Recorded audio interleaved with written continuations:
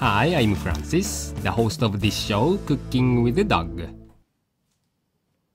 こんにちは今日は卵焼き豚ネギのたっぷり入ったチャーハンを作ります First, cut the char siu Chinese flavored barbecue pork into 5mm or quarter inch cubes. If it's not available in your area, you can also use ham instead. Next, thoroughly beat the egg in a bowl.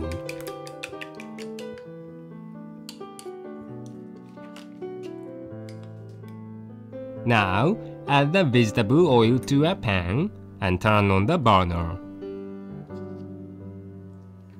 Add the chopped long green onion and stir fry on low heat until aromatic. Then add the chopped garlic clove and continue stirring. When the aroma grows stronger, increase the heat. And now, add the beaten egg and the hot steamed rice. Quickly coat the rice with the egg evenly, and then crumble the mixture using the back of the ladle. Stir fry on high heat and separate each grain. Add the char siu and continue stirring.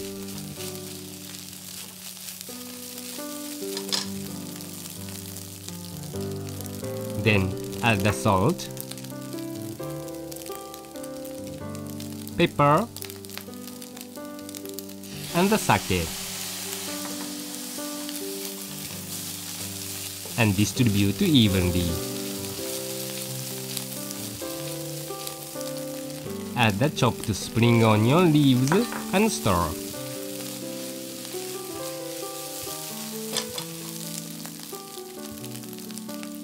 Finally, pour the soy sauce directly onto the pan to help it grow more fragrant.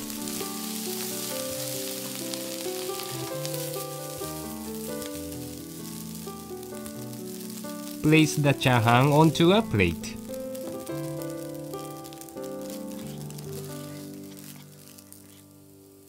Garnish with the benishoga, pickled ginger root.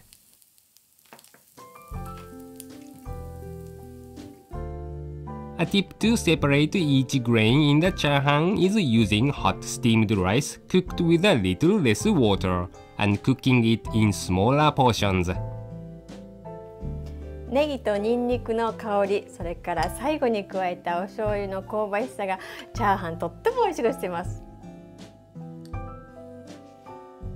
うん美味しい When using a relatively small burner at home, avoid tossing the chahan in the pan to keep from lowering the temperature. Good luck in the kitchen! ネギと